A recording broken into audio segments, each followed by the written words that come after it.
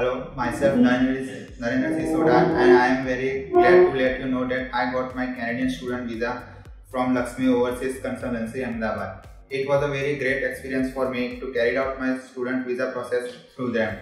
I got ad- I got admitted in Cape Breton University through Laxmi Overseas. So very thanks to them. Uh, I, I get a, I got admission in my preferable course. So it, it was a it was a great point for me. I would highly recommend Laxmi Overseas to the other students who wants to go for uh, overseas study. So thanks to Laxmi Overseas to carry out my student visa process.